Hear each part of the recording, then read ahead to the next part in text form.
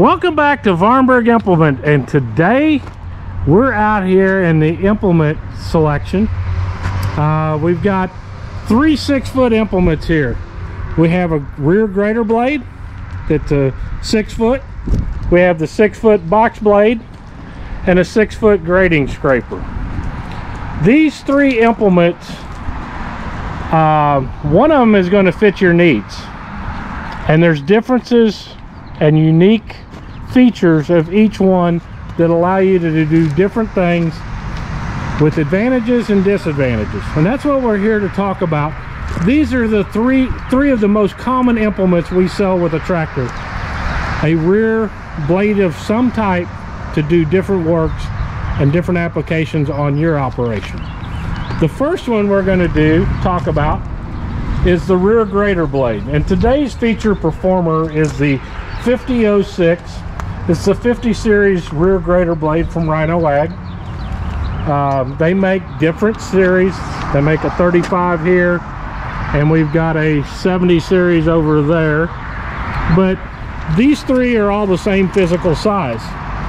What we want to talk about is what are the advantages of a rear grader blade? Well, the number one simple thing of a rear grader blade is the ability to change um, the way the blade works. One of them is tilting the blade. Tilting the blade is going to tilt it left and right. You know, dig this side, dig this side down, raise that side up, or vice versa. And that is going to be done by this adjustment lever right here. The next thing is being able to take that blade and turn it forward or re rearward. That is done by this adjustment. It's a simple pin adjustment that allows you to pull material uh, cut ditches. This way is going to tilt the blade to cut a ditch to crown the road. This way is going to help pull material up. The third main feature of a rear grader blade is offset. Offset on this one is done by this pin position here which is going to allow the blade to move to the side of the tractor to the right or to the left what that allows you to do is keep the tractor up on the road and get it out the side to do that ditch. That is the big feature, number one feature of a rear grader blade is allowing you to adjust it quickly by pins. Now some grader blades you're offset you may have to loosen bolts and go side to side but on the 50 series here and on up is a quick change uh, toolless quick change adjustment. The biggest thing with a with a grader blade is the ability to move material from the left side to the right side or the right side to the left side. That's done by your pivot of your blade. So you swing this forward and you're going to swing that edge back. And then you're going to go down and it's going to pull material from the right to the left or from the left to the right depending on where you have it pivoted here as far as the direction of the blade here. That is probably the, the second biggest feature. The other thing is this is the best blade best tool to cut a ditch. If you're trying to clean out ditches um, by using the tilt function here you can tilt that blade down where it goes down in the ditch, tilt it forward, and it's going to clean that ditch out and pull the material up and to the left or to the right, depending on which way you tilt it. So that is the three really big positives of this. Plus, we'll throw in a three and a half is the offset position. Offset allows you to do work to the right or to the left of the tractor without having to drive in that area. So those are your three big things. The quick change thing with the offset pivot and tilt. The big disadvantages. Everybody loves to hear advantages and nobody wants to tell you about disadvantages. I'm going to tell you this tool is probably more suited for an advanced user of tractors. If you're new to tractors, this tool you can make mistakes really quick. You can gouge you can make gouges and humps and you can really turn a great road into a bad road in a, in a quick hurry. But there's things that'll help you. Like as we've got here, we've got skid shoes. Those skid shoes limit how far down the blade goes so you can't gouge as much. That is one of the things that helps on this blade. The, the maintain the height of the blade is a little more precise takes a little more experience to use it. Once you get onto it it's not hard to do. But the disadvantage this is a more advanced user tool versus the simplicity of the other tools that I'm going to show you. Next we're going to jump over here to this 7007 because it's got an added feature for the next next disadvantage. Most grader blades don't hold material. The material can slide right off the end out here and trickle around and it doesn't maintain it. Now there is a feature that allows you to do it. It's called end plates. End plates bolt on and it gives you the ability to hold more material in the moldboard area of the of the grader blade. So for the two disadvantages that I've come up with, there's solutions to resolve those problems and make it easier for the novice operator. The next feature is the box blade and man there is a multitude of different box blades out there qualities constructions and different things like that. But today we've got the SBX 72 from Rhino. This is a seven foot this is a, what we call our medium duty but compared to a lot of it in the industry it's a heavy duty or extra heavy duty blade.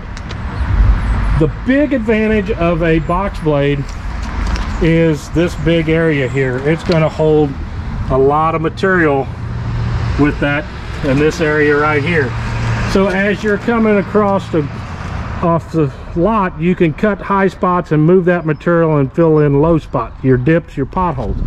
That is going to be the big advantage of a box blade in the forward position. The biggest thing is ease of use. You basically drop this thing on the ground, you adjust your top link.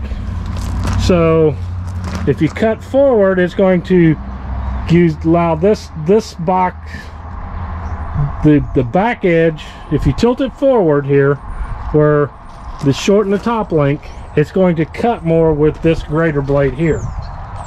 If you lengthen the top link it's going to cut more here or use this as your skid guide as you're pulling forward and it'll go across the ground so top link adjustment is your main adjustment to control the pitch and angle. It also controls the pitch and angle of your scarifier teeth that are also adjustable by removing these pins and moving this, this shank up and down. The scarifiers help break the soil up so that you got material to move. Works great for gravel roads, works great for for land, uh, land leveling and that type of stuff too. Uh, it worked. The third feature of this is ability to work push from the rear or pull from the front. You have grader blades on both sides, so it's a bi-directional tool. Now, the biggest problem is angling left to right.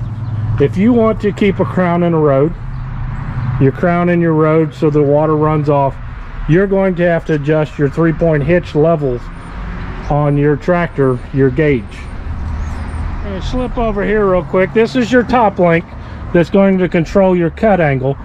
But if you want to do left to right you're going to have to adjust the length of this rod to either tilt it to the right or to the left to keep to do any crowning in your road.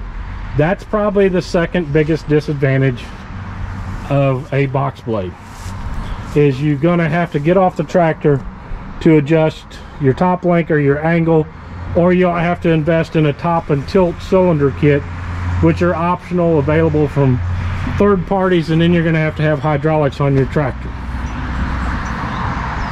Our third and final tool is the grading scraper and today we have the GS72 from Rhino Ag.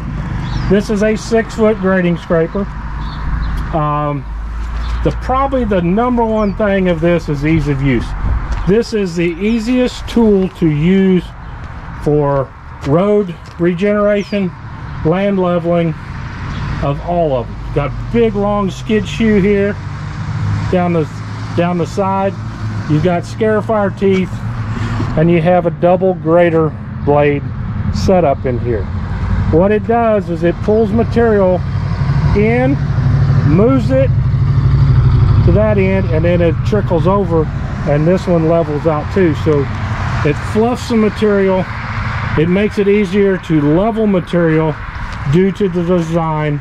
It's easy to use. All you have to do is drop your, set your top length to level and go drive a tractor. Pretty simple. Um, the, the next thing is the blade angle. The second most feature of this is your blade angle. And you can see these blades are offset closer to the right, farther away to the back on the left hand side. This is going to pull material from the right to the left to fill in those chug holes to keep the crown in the road as before it bubbles over. It's going to move material first before it comes up and over. Pretty simple, easy design, easy to use. Makes it makes the most novice person look like a master road builder or land leveler out there. One of the other great things that this thing does is by the angled blade, we slip down in here, is that material comes up and lifts up and over and it'll fluff the rock and put the rock up on top and your fines down on the bottom. Great for rejuvenating your driveway, puts the rock up on top versus as you can see out there it's kind of packed in right now. It could use a good grading scraper but it'll fluff all that rock up where you got your rock back up on top here versus push down in the fines and the mud and the dirt and that type of stuff. So that is the third feature of the grading scraper. The biggest disadvantage of this, it's a one-directional tool. You're going to pull it forward. Uh, it's not designed to go backwards to do any work in the rear position. So you're only one way. Where the box blade, you've got the double blade and a rear grader blade, you can actually swing it all the way around and push backwards with it too. So forgot to mention that on a grader blade, but it works forward or rearward. The other thing is you're not moving material with this. You move a little bit left to right or uh, from right to left, but you're not going to carry large volumes from one area to the other where the box blade with its big open design and even a grader blade with the flat design, you've got a big moldboard frontwards or rearward operation to carry to pull material forward or push it backwards in the back position. So that is the basic differences between a grader blade, a box blade, and a grading scraper. Um, all three work wonderful. I've had customers that purchase all three, a grader blade, a box blade, and a grading scraper. I've had customers buy two of the three, and I've had customers that buy one and it works fine for them. It's three different tools with three different options and three different choices to do jobs easier, faster, and better for you. Maybe all you need is a, is a rear grader blade or a box blade is probably one of the more popular first choice tools but you can add step up to adding a grading scraper or adding a rear grader blade. Uh, they can be all purchased at one time save a little money with Vahrenberg Implements custom package deal or you can buy them individually over the life. And you may not even need all three. You may not have a lot of roads so or a lot of land that you need to level out so a grading scraper may be a choice that's not needed for you the good part is Rhino Ag builds the same heavy duty quality in all three blades gives you the choices to make the best choice for you and at Vahrenberg Implement that's why we're here is bring us your needs, the projects that you want to do, and we can help determine which tools are the best for you. Um, thank you for tuning in to another informational series video. I hope that helped you learn the differences between why a grader blade is better. Probably the number one thing is ditch building. Uh, the ability to offset, pivot, tilt, and uh, of the blade, the quick change is going to be the best reason for a rear grader blade. Moving large volumes of material uh, as a box blade, ease of use, and if you've got a lot of road maintenance, gravel roads, parking lots, the grading scraper is probably your best choice, or land leveling, like leveling the ground around a new house. You can tilt this a little bit to smooth out and make slopes and stuff but it's not going to be as simple and easy as our grader blade. I hope that helped you learn about the differences and why one is better than the other to help you make the most informed decision to spend your hard-earned dollars we're not here to make you buy all three at the same time we want you to buy the right tools and spend the right your money on the ones that are the best investment for you. If you're in West Central Missouri, come visit us at Vahrenberg Implement. We're located right here at the first stoplight in Higginsville, Missouri on the south side. This is Missouri 13 and that is Business 13 on Fairground Avenue. We're just four short miles north of Interstate 70, which is about 35 minutes just east of the sports complex where the Kansas City Royals and the Kansas City Chiefs play just outside of Kansas City, Missouri. We sell Rhino Ag implements, cutters, finish mowers, blades, and more, and Massey Ferguson tractors. So come visit us or visit your local Rhino Ag dealer and get the best tools to meet your needs. Grader blade, box blade, or grading scraper. All available from Rhino Ag.